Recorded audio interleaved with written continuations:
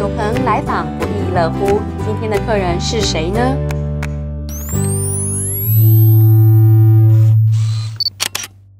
观众朋友，大家好，我是 Ann，欢迎收看《谁来做客》。你知道脑科学是什么吗？而脑科学相关的工作又有哪些呢？脑科学和心还有灵魂有什么样的关系？今天我们节目很荣幸为您邀请到台北医学大学心智意识与脑科学研究所教授，同时也是人文及社会科学院副院长的曾祥飞教授来我们节目当中做客。如果你喜欢我们节目的话，记得按下小铃铛键订阅，就可以及时收到我们最新的节目哦。很荣幸曾教授来我们节目当中做客，欢迎各位观众朋友，大家好，很高兴可以有这个机会跟大家在节目上见面。曾教授，我想先请教你哦，脑科学是什么？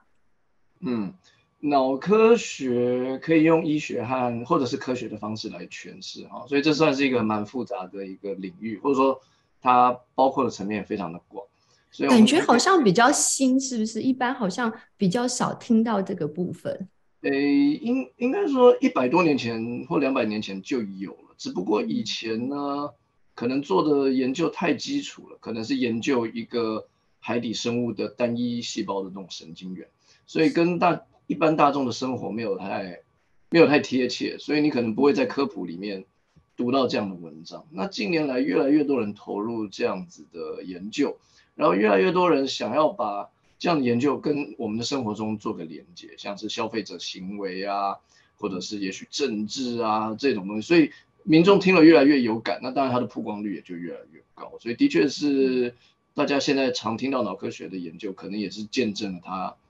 进步越来越快的一个发展。以前可能听到脑就直觉的想到医学，对不对？嗯，对，所以的确，呃，的确是医师们开始这方面的这个领域的研究，所以像阿兹海默症啊、帕金森氏症。呃，所以像我们 常想到的神内的神经内科的疾病，像这种 neurology 的东西，那它一定都是属于神经医学相关。近年来，这个神经医学的触角也慢慢的进入精神领域，嗯所以像呃过动症喽，或者是自闭症啊这一些东西，也慢慢的可以用脑科学来，因为它毕竟是不一样的行为，所以也可以慢慢用脑科学来。来来研究这样，所以目前来说，以医学来说的话，神经内科、神经外科，然后呢，甚至有一些附件科，像是语言治疗、音乐音乐治疗，然后再加上精神科这几个领域，都慢慢的跟神经科学有很好的结合。那如果你刚刚提到，现在其实脑科学可能跟商业的一些活动，或是社会大众的一些行为都有关系，耶。对，所以呢，我们刚刚讲的医学都是在研究病人啊，或者是呃，我们说的叫什么假健康，也就是不不是真假的假，是假假假假健康，对，也就是我们的生活形态要怎么预防疾病。那也有一组人，像我这种认知神经科学的人，我们在研究的是一般大众，就研究我们不研究病人，就研究正常人。那观众朋友可能会想说，正常人有什么好研究的呀？我们都活蹦乱跳的，没有什么问题。像有些人会，有些我的同事他喜欢研究小孩子啊，人的语言是怎么发展，是人的，呃，为什么小孩子就是无法控制自己的脾气，要到二十几岁才慢慢的成熟这样子，那所以这个可能跟前额叶的发展有一点点关系啊，也就是大脑最前面这个负责理智的地方，所以。嗯，所以你就可以看到人类从小到大，或是生老病死这样的一个行为，或者是智力，或者是性情的一个变化，其实都跟大脑有很很深的一个关系。所以研究小孩也有，研究语言的也有啊，研究空间感或创意的也有。那像我是研究记忆和注意力的，那所以，所以我的研究可能直接就可以变成。诶，产品研发端那可能做三 C 的产品的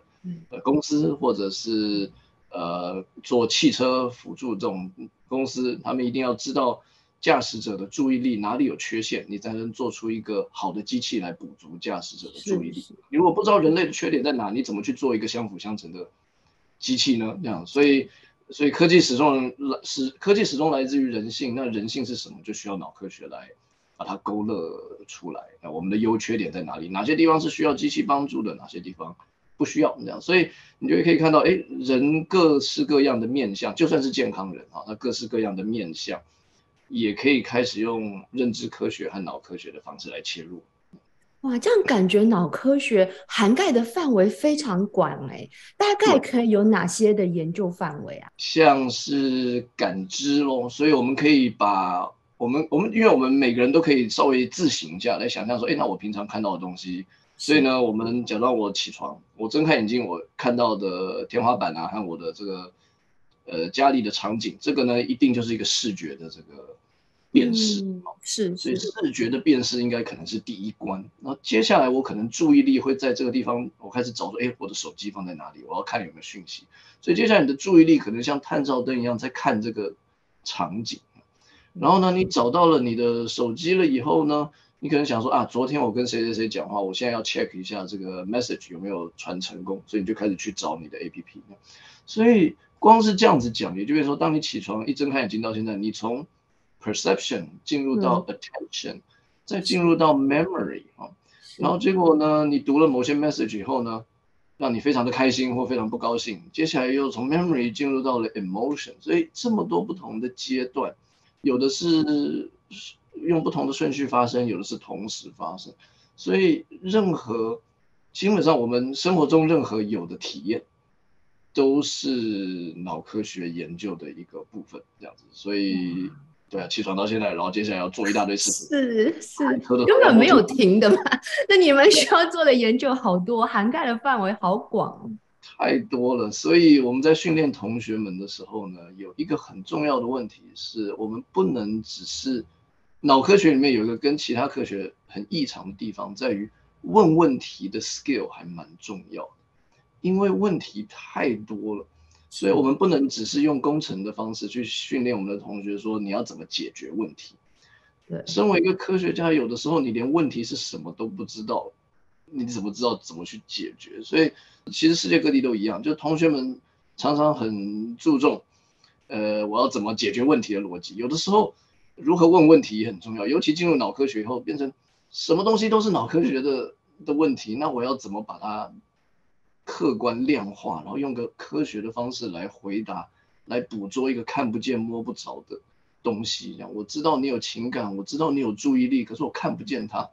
那我要怎么量测一个隐形的东西？所以这个后面就会变得很、很。很很复杂，不过你这么说的话，我倒是还蛮想请教教授，那脑科学的研究是如何进行呢？就像你说，我们从起床各种的感知、各种的反应有这么多，但是要如何来研究呢？对，这是个很这是个很深的问题，所以呃，所以一般的民众进到我们的实验室，他可能心中期待的就是，哎，呃，老师你会给我身上连一大堆生理的这种或脑波的仪器。那我就坐在那边，然后你就可以看透我的心思，然后你就完全知道我在想什么。对我们还没有，我们还没有到那个地步，希望希望有一天可以这样。那我们现在还非常的粗浅，所以假装我今天想要研究注意力的话呢，我可能会给他呃一个画面，然后呢有不同的东西出现，接下来他的注意力要跟着那个东西一直移动，看看他如何专注啊。那再来，如果我想要测他分心的，他注意力会不会容，他是不是容易分心的人？那我可能他在追着这个这个球在走的时候呢，突然出现几个那种其他颜色的球来让他分心，然后看这个儿童这个孩子会不会不小心啊，那眼睛就被抓走了。所以你可以用这个方式来量化他专心，也就是他如何跟着这个球的轨迹。我知道这个球在电脑上的轨迹是这个样子，那他眼睛或者他注意力的轨迹也是这样吗？这样还是中间有差别？所以我去算那个。它的轨迹跟正确轨迹中间的面积，那，我就知道它的这个，我就可以量化它的 deviation 有多大。那接下来我再看说这个 deviation 大的地方是不是正好就是干扰物出现的地方呢？如果是的话，应该就是干扰物引起的；如果不是，干扰物在这边，可是它 deviation 就出现在这边，那表示可能它自身。自身自己让自己对，对我刚刚也蛮想问，就是不会有很大的个别差异。譬如说，如果说有一个孩子他比较喜欢红色，你今天干扰球是红色的球出现，他反而就比较容易被吸引过去，然后跟一个不喜欢红色、对红色无感的人，是不是他们的结果就会不一样？就会差很多。所以做这个实验的时候呢，以前差不多七零年代的时候，课本上可能都会写说，为了要消除这个个别差异，可能要收大量的样本，这样。所以有人喜欢红色，有人喜欢绿色，然后他们彼此都 cancel out，然后就可以解决这个问题。直到了今天，他说自从两千年开始，我们的思维模式在脑科学的思维模式稍微改变一下，变成说我们当然我们还是可以学七零年代去把这样的个别差异给给大家都和在一起，把它去彼此抵消。可是更好的一个做法是，我就拥抱这个差异，我就 systematic 有系统性的去去去去研究它。我不只用很多的颜色，我还可以做个体化，就哎看看这个人什么样的。干扰物在让这个人特别容易，让这个孩子特别容易分心，这个也跟近年来做精准健康的这个趋势有一点点关系。就是以前我们可能就是哦，你有癌症吗？就这样给你这个化疗，也不问你是，呃，怎么样怎么样。现在可能会问说，哦，那你要不要先做个基因检测呢？然后再看一下你的。呃，性别、年龄，然后去做一些呃个人化的这个精准治疗。那在脑科学也有受到这样子的逻辑的影响，说，哎，我们是不是应该要去 take advantage of 这个 individual differences？For example，嗯，像刚刚讲的，也许不同的颜色会让某些不同的孩子们分心，那我就要把不同的颜色的不同分心情况下的孩子们给分类，分类以后我再去做。脑波或脑造影，这样不就可以让我知道他们个体差异的脑内的这个源头是怎么来的吗？所以当我不去，我当我不要想要去消灭这个差异，而是去去努力的观察这个差异，反而去把它研究，嗯，是嗯，脑内就会给你脑脑脑的影像就会给你答案。对，所以这样子的个体差异其实也是因为脑的关系吗？呃，是的，我这个我我不敢说这是一个。完全正确答案，只能说我自己个人的想法是没错。这样，我个人会认为说，任何我们在外面可以观察到的现象，一定都是透过脑当成一个媒介来做的。嗯，所以今天我，所以我会相信说，不论是嗯我的亲人得了失智症，还是呢我的孩子得了视觉失调症，这个一定可以从脑内看出一点点端倪来。这样子，而如果可以从脑内看到一点端倪的话，如果我相信脑是它的源头的话，也就是先有脑当上游，才有行为当下游，那我要怎么改变他的行为变得更好呢？我应该要去改变他的脑。反之，如果今天你相信脑是下游，然后是先有行为才有脑脑变化的话，那你就会觉得说怎么改变脑都没有关系，因为那问题是出现在上游，所以。所以不论问题是什么，我们一定要找到它最上游的这个源头，才能去，才能去改变它。那这也是为什么最近年来医学都会在做一些嗯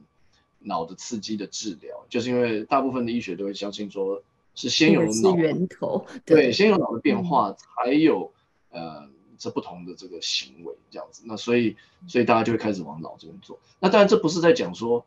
脑好像听起来很生理。所以你的心理就不存在啊，这完全不是在讲说心理智商好像就不需要这样。事实上，你的心理智商如果有用的话呢，那在脑上应该也会看到一个有用跟没有用的一个差异，这样。所以不是这样子吗？啊，是是，对对对。所以所以所以新的问题是不是要重新发出呢？没有错，还是要有人跟你跟你讨论、跟你谈，这样子互相彼此辅助。这个 social support。它有没有用？一定也是有用的时候，还没有用的时候，一定也是透过脑来来激发出来的哈。所以这个东西是相辅相成的。人的行为从心理和生理来看，其实是一体两面的。我们不需要过度的着重脑科学，也不需要过度着重呃 psychology 这样，就是 psychology 跟 neuroscience 其实是可以可以一起放在一起，而且他们中间是没有冲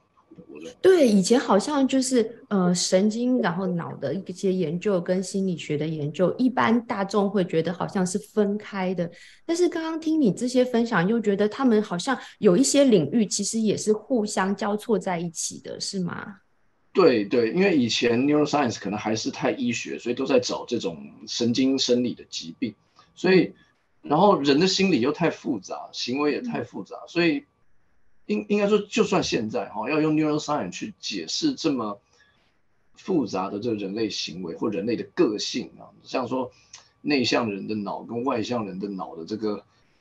这个连接是真的一样的吗？是绝对是不一样的。可是就问题是它太复杂了，我们真的找得到吗？啊直到近年来这种运算技术的这种突破，慢慢让我们可以 quantify。所以从七零年代开始，可能大家都只是找中风、脑伤的病人，所以这个地方中风，哦，这个人就说不出话来；然后这个地方中风，他就说得出话来，可是听不懂别人讲话。然后这个地方中风，他就会迷路，这样子。所以我们慢慢的。嗯，一块有点像一块一块拼图去找哈，那可是这这这我相信这北美的人看就很有感，就说可是你你的 complex behavior 不是只是一块一块那种硬碟啊还是 CPU 那种抓在一起，它其实是不同的脑区彼此有不同的网络的连接，否则人的脑也就那人脑也就那几个脑区这样，怎么可以？拼凑出这么多，这么复杂哦。对，从你说的一早起来，各种感知、各种的那个的反应，全部都是在里面哎。对，也就表示说，现在我们两个人虽然只有两个人，可是我们可以讨论 几百种不同的话题。也就是说，并不是一个人只能负责一个话题。所以，这个传统的这种一个脑区负责一种功能的思维，现在慢慢的被取代中，而是这个脑区。它今天要负责什么功能呢？完全取决于它现在跟哪一个脑区在聊天，这样子。嗯。而这个聊天的速度，像这个 oscillation 这样，又是长什么样子？所以这个时候就需要很多物理学家和工程师来加入。这样。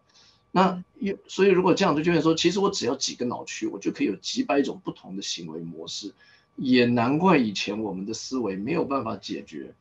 人类这么多复杂行为，现在慢慢了解了，然后慢慢有这样的运算的科技去做了，所以。大家才会在媒体上面看到越来越多这种贴近、比较贴近我们生活、比较贴近我们心中想象的人的复杂度的这种研究。对对，不，你刚刚提到，其实这跟贴近我们现在生活的研究真的越来越多。不过也还蛮好奇，如果应用到工作上的话，跟脑科学相关的大概是哪些工作？嗯，所以像我们刚刚讲的，呃，科技公司和这种车厂。像我以前在车厂工作过一阵子，基本上这种大公司都有非常多的呃人因，我们叫人因工程师。那那人因工程师其实大部分都是做认知科学或者是认知的脑科学出身的。戏骨其实就是一个人因工程的大本营这样子。那所以非常多非常多心理系或者是认知科学学系毕业的人会去那边变成人因工程师。那另外一种的话呢，可能可以变成 marketing 这方面的的专长啊。所以像你比较了解人类的行为，然后你知道人类的行为不只是我们有自由意志在决定，有的时候是有一些潜移默化的这种的这种 influence 哈。所以像这就为什么大家那么呃厂商这么喜欢做植入性行销，因为他们就觉得说，其实你不小心不经意的看到某一个产品，它其实会在你的脑海中留下一个一点点的这种痕迹，对，就算你不知道，那这个是真的，这样，只不过它到底有多 powerful，可以去影响你的行为，这就需要量化。那所以有一些人会进入行销，去专门做这一种比较置入型的这种行销，就不是太不是很 over 的讲说，哎，大家来买我这个东西，而是那种很 subtle 的这种慢慢的在生活中置入不同的呃置入不同的这个线索。还有一些人可能会去做比较经济学的这个研究，像大家可能，诶，啊，现在现在很多研究在说，电电力公司的账单要怎么设计，才会让使用者下个月更省电？哇，还有这种研究啊？啊，对对对，就是因为他们希望你更省电，这对他们也好，对你也好。那可是要怎么设计才会让让人们有这样的动机呢？所以一个方式是。呃，大我不知道现在大家收到账单是不是这样？一个方式是说，哎，你在你这个 district 里面，你这个月的用电量是这个 district 排名第百分之第几这样子，让你有一个那种班上排名达人对 想得名的那个心哦。没错，可是呢，后续的研究又发现，哎，这种方式只能激发本身就很 care 环保的人。本身不 care 环保的人呢，反而会有反效果，所以他会发讲到一个本身就不太 care 环保的人，他发现哎，我什么都不做，我居然还有七十几名这样就七十几 percent，表示我可以再摆烂更多一点点，然后我都还可以。所以，所以他们发现说，这个招数一旦使用以后呢，有一半的人会更努力的省电，有一半的人会更努力的摆烂，这样子。那所以就接下来就变成说，那我要怎么知道，哎，哪一组人是摆烂组？所以我以后就不要用这种方式，要用别的方式来激发他呢？啊，所以这个也就跟行销的脑科学有一点点关系，这样。所以都生活中有很多这方面的例子，这样还还蛮有趣。那当然最最终最主要就是往医学领域去做，所以做一些医学相关的研究的话，是最是大部分的人呃有 PhD 的都会去做这方面的研究。对，不过不管是在哪一个领域，感觉上就像你前面提到的，问对问题下去做的研究非常重要。哎，对对，所以所以脑科学我觉得有趣哈，在于有两点。第一点是我们研究的东西是看不见摸不到的东西，是我们不像生命科学用 biology，你可以把一个细胞放在显微镜下面，然后你就去看，然后就去算。大脑的大脑，你就算。你就算我今天把我的大脑打开来给大家看，我也没有办法跟你讲说，你看我的个性在这边这样，然后那我的第一次考，我第一次考 straight A 那的这个记忆在哪一边这样，就是指不出来。所以我们研究的东西，我们研究的东西是隐形的。那所以你要怎么用一个钓钓鱼竿把它给钓出来，再去研究它，是一个很难的，是我觉得是它。Challenging 也是它有趣的地方，这是脑科学跟其他领域不太一样的地方。那另外一个有趣，另外一点，也就是说，因为它这个样子，所以脑科学需要很多的创意。它跟一般那种比较硬邦邦的科学不太一样，就是它需要需要去设计一个，你你要用你要用很多的创意，可是又要很有很有逻辑，这样不能不能太 over 的创意，然后变成什么东西像个渔网一样。所有的东西都从大脑里挖出来了，也也回来反而自己都不知道怎么分析那个结果。对对对对，没错。所以又要有很严谨的逻辑，又要有很有趣的创意去把你要的东西给调出来呢。所以我觉得这是脑科学有趣的地方，也是很适合很多。诶，有很多人常常觉得啊，我觉得科学很无聊，需要需要很 exciting 我才会做，那我就会推荐脑科学。脑科学就是一个很很吃创意。和逻辑，at at the same time，创意和逻辑这好像好像好像不太相关，可是这两个都很重要，这我觉得脑科学有趣，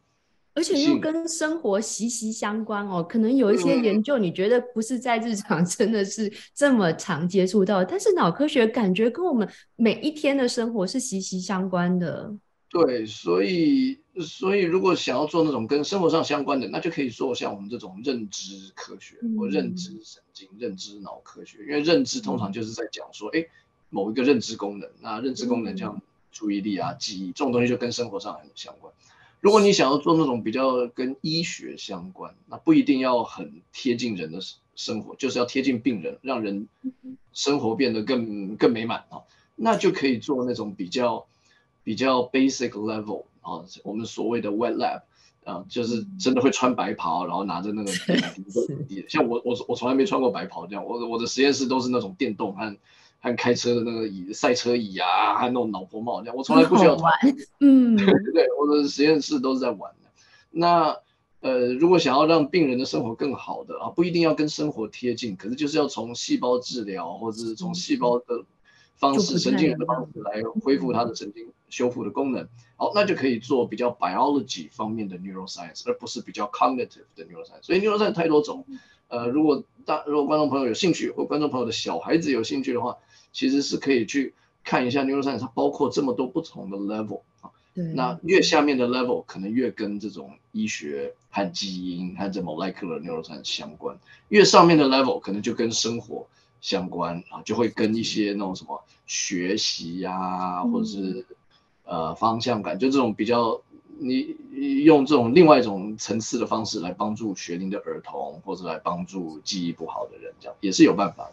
对对，可能很多家长会对这一块特别特别的感兴趣哦。对对，我觉得脑科学从二十年前开始，它慢慢的变成一个比较 dominant，比较慢慢变成一个显学了这样子，因为太多。太多 application 了，所以现在大家，所以以前以前我们要选脑科学，就啊我对脑有兴趣，然后就哦好，那我就选脑科学的。那甚至有可能呃，major 上面没有脑科学可以选，所以我要去选别的这个科系，然后自己做脑科学。嗯，现在二十年后有一个大的转变，现在变成你要学脑科学，老师会问你说，那是哪一个脑科学呢？我们 里面太广了，是细部的哪一个部分？有 mind 这样，那这个对高中生来说会很 overwhelming，因为他说我就是喜欢脑科学，我怎么知道脑科学有分 有分几十几百种所以。所以要做很大量的科普阅读，才会稍微了解哦，我的兴趣在在哪里。对，不过我另外也想请教教授，就像你说的，脑科学真的涵盖太广，有这么多的细分之外，另外我还有一个问题是，那从脑科学的角度来看的话，脑跟心是一起的还是分开的？嗯，这是一个很深的问题。我们会觉得说，脑跟心。是一体两面的东西啊，所以它绝对是一体的，对绝对不会是分开的哈。为什么会这样讲呢？只要从七零年代开始，你会发现说，哎，嗯，我们刚刚讲的病人如果这边发呃这边有中风的话，他就无法说话，这样。如果这边中风会怎么样？那有意思的是，前额叶中风的话，他会无法控制自己的脾气啊。所以呢，他呃一个本来文质彬彬的人啊，如果是前额叶受伤或者是中风的话。他就会性情大变，然后变得很很暴躁，然后很没有办法控制自己的情绪。那你仔细想想，哎，如果没有中风，是不是生活上也有这样这样的人呢？那有，就是小孩子，小孩子也是没有办法控制自己的情绪。他饿了，他就在地上打滚，这样。然后他看到这个糖果，他现在就要，他不能等。对对对对，他不能等到 Christmas 那种再来买，他就是现在要。为什么呢？因为我们刚刚讲的中风的病人是前额叶受损啊，小孩子是前额叶还没有发展完全。对，那还有没有另外一种人行为像这样的病人或小孩子呢？呃，通常是失智症的老人啊，失智症的老人，某一些老人他会无法控制自己的情绪。我不知道呃有没有人家里长辈有失智症，就会发现他们会。慢慢的有一些怀疑，说，哎，你是不是偷我的钱？这样，他怀很多怀疑，这样，而且有的时候会爆炸，然后会没有办法控制自己的自己的情绪，开始 vent 这样子，就觉得，哎，奇怪，这以前好像对我以前都是和蔼可亲的，这个突然变了一个人了，为什么变了一个人？那其实他是因为前额叶开始退化，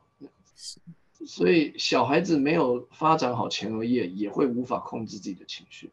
老人前额叶已经退化了，也无法控制自己的情绪，或者是年轻人前额叶很健康，可是出了一个车祸的话，啊，或者病毒感染，所以受损，也会有一样的症状，就让人不禁怀疑说，哎，所以可见我们控制情绪和我的个性和我平常社交的这样的一个一个这互动，其实极大部分是跟我的这个。硬体的这个构造是有一点关系的哦，就有点像是一个，有点像是个电脑吧。我们把我们自己想象成一个超级电脑，你的大脑就是一个很强的超级电脑。你如果今天把某一个显卡给砸坏的话，那它就会，它还是可以运作，这样，硬碟也还在，那记忆体也还在，可是它的影像可能就会出不来，因为显卡坏掉。所以 in this case，这个电脑电脑的软体跟它的硬体有一个一比一的一个很漂亮的一个。一个关系这样，所以人脑也是一样这样，所以嗯，人脑哪一个地方有受损，像负责视觉的是后脑勺这边，这个地方要是中风的话，你真的就会看不见，不管你的视力是是不是二点零，你还是看不见，因为这个有点像是你的 webcam 嘛这样子，那没有办法 process 那个 information，对，后面这个脑区才是真正你的显示卡的这种概念，所以。嗯，所以我们会觉得说，这个硬体，这个我们在研究的大脑是硬体，可是它跟你的心，也就是你的软体，对，是息息相关的，是一体两面的东西，这样子。对，那脑跟心是息息相关的，那脑跟灵魂呢，是一起还是分开的？这这是一个更有意思的 议题。那主流的脑科学，我很怀疑他们相不相信有灵魂的存在。因为他们可能会觉得心就可以解释大部分，呃，灵魂的东西，好，所以这个就会慢慢的变成说，这是一个，这是一个哲学，也是一个科学的一个一个 debate 啊。那我是觉得我们不需要把它想的这么复杂，因为，诶，我我会觉得说，我们对于灵魂的定义，可能会的确会有可能会被嗯心智科学给 challenge，它有可能需要 update，就是到底什么东西是零，什么东西是新，啊这个我们需要 update。像以前我们可能会觉得，哦，任何跟情绪有关的，可能都是都是灵魂的一部分。现在发现，哦，其实情绪好像也跟脑有关系哦。嗯，对对对，然后忧郁症好像也是跟脑有关系。那所以，嗯，所以可能那个不在。有可能不在零的范畴吗？还是怎么样？这个我就不太确定。我觉得这个是可以，脑科学的确有一些有趣的 finding，可以让我们可以 inform 我们，让我们来思考一下，说，哎，我们以前对灵魂的定义是不是要更新呢？还是你觉得没有关系，这样可以再再怎么说，按兵不动，再等待一下，那也是有可能的。因为我觉得脑科学有的时候也是怎么样，呃，有可能今天说一套，然后明天又。明天又发现新有不同的新发现嘛？对，所以我们好像也不需要那么急着那种更新我们的定义，也是有可能的。所以我觉得这的确一灵魂、心还有呃脑脑算体吧，这样，所以这应该都是一体两面、一体三面的东西。我们倒不需要太快的去 discount 脑科学，或太快的 discount 呃一宗教给我们的一些 lesson。像我最近读到一个很有意思的论文哈，我觉得它就是一个很好的范例。像以前呢，脑科学家，你如果跟脑，呃，你如果跟脑科学家讲说，个性或者是呢上一代的创伤会隔代遗传，以至于父母可能我看父可能父亲去当兵这样子，然后呢，在战场中所受到的创伤回来了以后，啊，已经不打仗了，然后呢生小孩，啊，生的小孩会不会有父亲在战场上的这种？trauma 那种不一定是回忆了，可是就会不会这样子的人啊，有这种 PTSD 的这种人，他生下来的小孩，呃，会不会更畏缩，然后更容易那种呃受到惊吓呢？以前科你要是跟科学家讲这个，他们一定会说怎么可能？你知道他感觉不很很不科学，对，听起来就是伪科学，这样一定大家都会就一定大家会把你骂死。结果最近发现说，这个真的是可以。上一辈的经验是可以透过 DNA methylation，也就是 epigenetics 的方式，哈，就是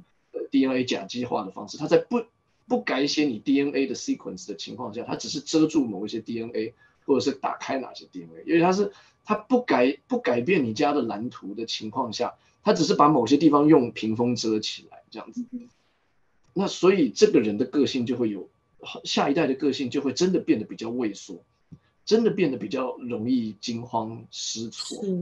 那我们在宗教里面，我们可能会讲说，哦，这是隔代的这个诅咒吗？还是这是一个隔代的一个什么某一种东西吗？我们会用比较呃虚无渺茫的这个词去形容它，不代表这是假的。我们可因为我们只是不知道它背后科学的这个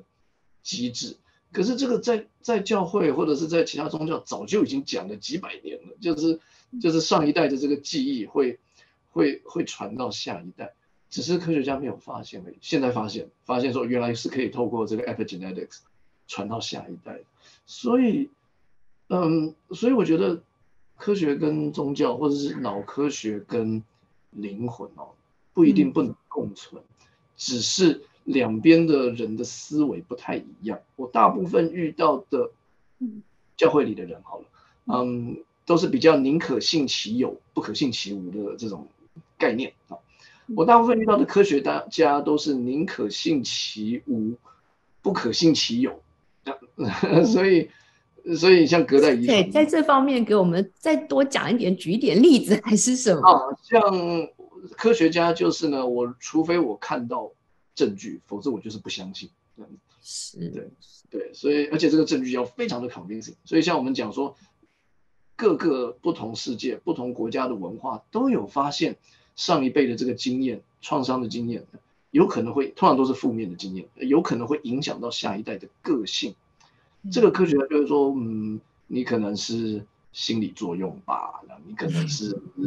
呃，你知道带着有色镜片去看，你就找到了你想要找的东西，这个不科学吧？啊，直到发现 DNA 以后和这个 epigene 以后，才发现哦，原来是原来之前这些人讲都是真的，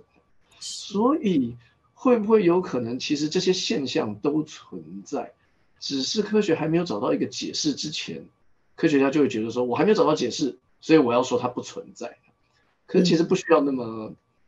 不不需要那么那个怎么说，不需要那么 极端。对，所以对，不过科学科学真的态度就是这样，就是除非有百分之百的证据，否则我会先说它是，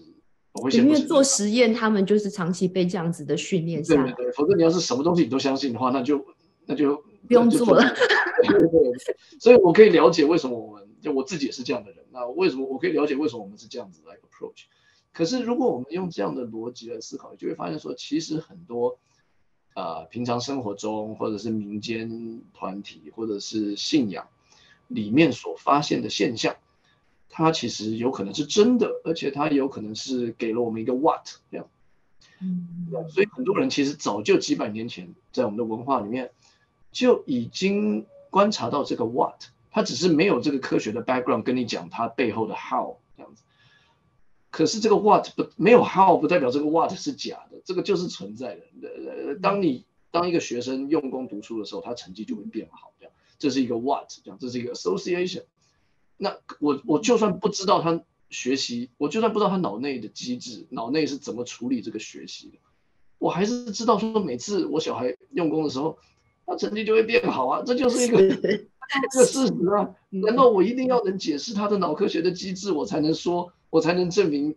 温习是有用的吗？其实不用的，你只要证明温习是有用，脑科学的机制只是来解释它的 how 而已。有了 how，当然这个 what 就变得很很 believable 的。可是，在我们脑科学还没有 arrive at 这个 how 之前，难道这个 what 就不可信吗？其实不一定。所以我真心认为，总有一天，啊，灵魂啊，信仰的一些观察，跟脑科学完全都可以。会会很完美的这个融合在一起，好期待，好期待这一天的到来。我不确定会不会在我有生之年，不过 我相信，相信。不过我想你们的研究就是一直在帮助朝这个方向前进。对，是的，是的，这当然这当然是大家最后的终极的目标。你如果去问任何科学家，然后问他说你的目标是什么，其实科学家他也会跟你讲说，我就是追求真理啊。是，我还追求什么？对，所以其实他们也是追求真理，只是在不同的 level 用不同的 method。来做一样一模一样的事情啊，所以总有一天这个会大家都会在，嗯，都会在同一个终点这样这样这样结合。哇，今天真的很谢谢曾教授给我们这么好的信息的分享，真的学习到很多，谢谢你。谢谢谢谢。